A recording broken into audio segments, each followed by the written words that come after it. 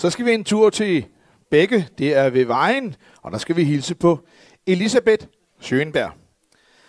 Her i øh, coronatiden, der har Elisabeth skrevet tekst og musik til en sang, der hedder Den dag coronaen kom. Den indspillede hun på en CD, og så sendte hun den sørme ind til kongehuset. Og derfra fik hun et flot brev tilbage hvor, fra kronprinseparet, som takkede, med også en lille hilsen derfra også selvfølgelig.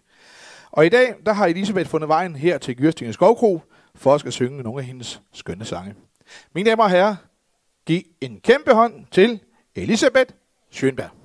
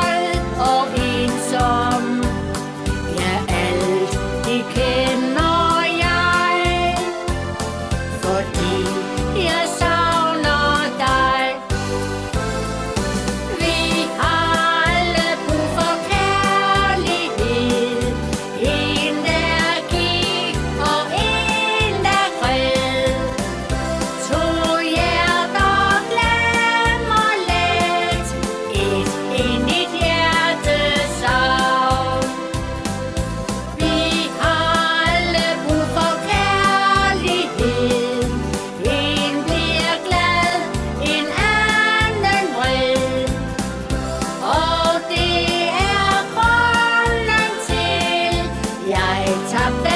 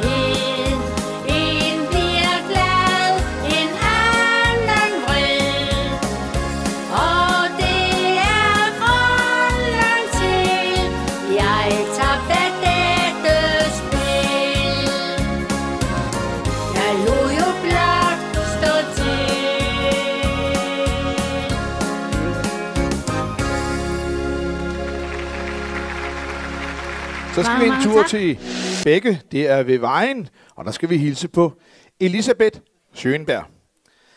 Her i øh, coronatiden, der har Elisabeth skrevet tekst og musik til en sang, der hedder Den dag coronaen kom.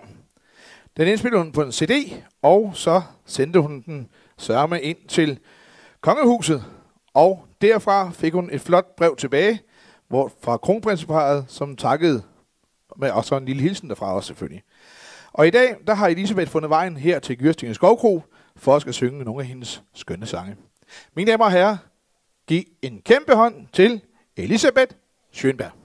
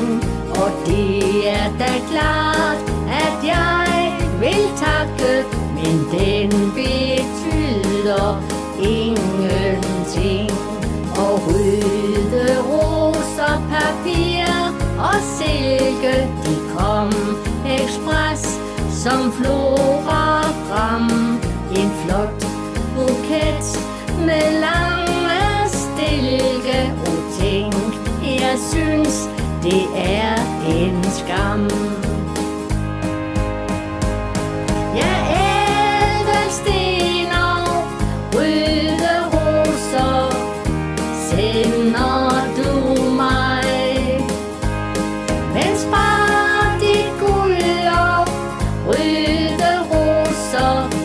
jeg vil have er dig. Måske du synes, du ikke er flot nok Og sender dyre ting